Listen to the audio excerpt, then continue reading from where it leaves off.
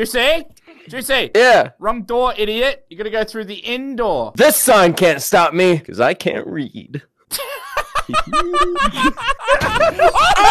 oh,